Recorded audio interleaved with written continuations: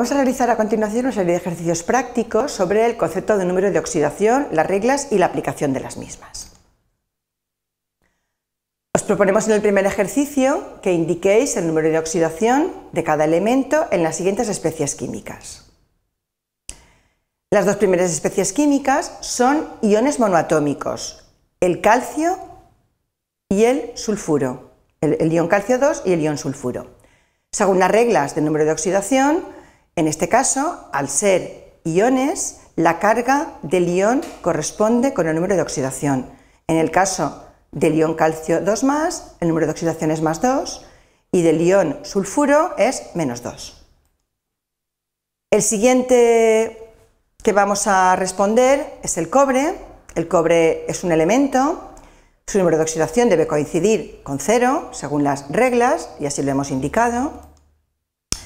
El peróxido de sodio y el tetraoxomanganato 7 de potasio son compuestos químicos. En base a las reglas, la suma algebraica de los NOx de todos los átomos debe ser igual a cero. Como sabemos que en los peróxidos el oxígeno es menos 1, el sodio es más 1, de esta forma, la suma de los NOx de los átomos es igual a cero. En el caso del permanganato de potasio, también llamado tetraoxomanganato 7 de potasio, como he comentado anteriormente, sabemos que el oxígeno es menos 2, que el potasio es más 1, es un metal alcalino y por tanto es más 1, y de acuerdo con la regla, el manganeso debe de ser, para que la suma de átomos de los nodos de átomos sea 0, más 7. En el caso del ion trioxosulfato 4, es un ion poliatómico de carga 2 menos, en la regla se indica que la suma algebraica de los NOx de los átomos debe ser igual a la carga real del ion. En este caso, teniendo en cuenta que el oxígeno es menos 2, el azufre debe de ser más 4 para que de esa forma la carga real del ion sea 2 menos. En el siguiente ejercicio se solicita que determinemos el número de oxidación de cada uno de los elementos destacados.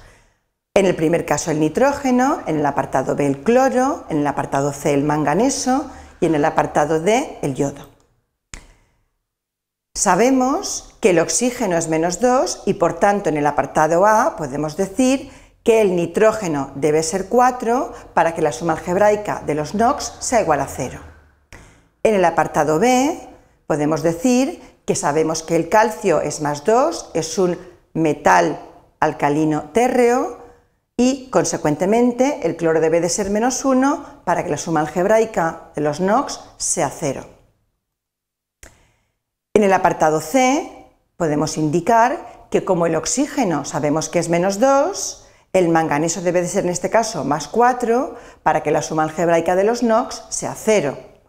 En el apartado D tenemos un ion de carga menos 1, como el oxígeno es menos 2 y la suma algebraica de los NOx ha de ser igual a la carga del ion, por tanto decimos que el yodo es más 5.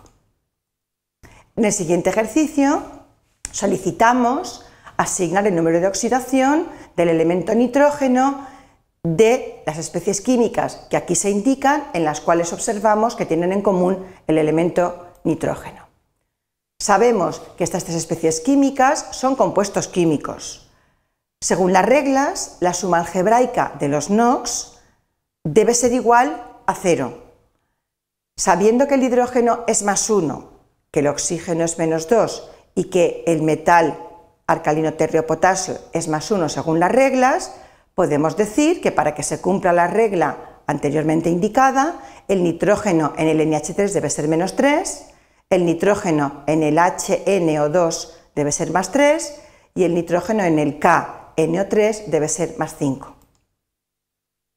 Finalmente, en el ejercicio 4, os pedimos que deduzcáis si las siguientes reacciones que tenemos indicadas son reacciones de oxidación-reducción o no.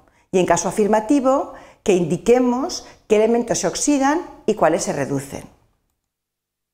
Recordemos que para resolver, en este caso, este ejercicio, debemos recurrir a la idea de que una reacción redox implica siempre un cambio del número de oxidación de una especie, una que aumenta y otra que disminuye.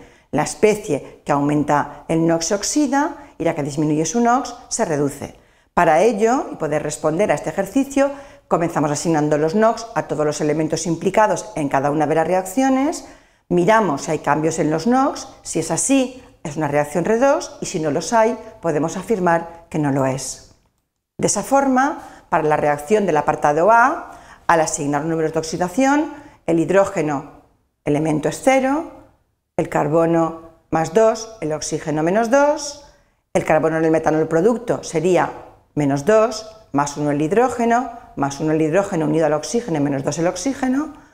Observamos que hay cambios en los NOx, por tanto la reacción es una reacción redox. ¿Quién se oxida? Aquel elemento o átomo que aumenta su NOx, en este caso el hidrógeno, que pasa de 0 a más 1, se oxida. El carbono es el que se reduce, disminuye su NOx desde más 2 hasta menos 2. Para la reacción B, asignando los números de oxidación, hidrógeno más 1, cloro menos 1, sodio más 1, oxígeno menos 2, hidrógeno otra vez más 1. En los productos, el sodio más 1, el cloro menos 1, el hidrógeno más 1 y el oxígeno menos 2, observamos que ningún átomo en esa reacción química cambia su NOx. Por tanto, podemos afirmar que no se trata de una reacción de oxidación-reducción.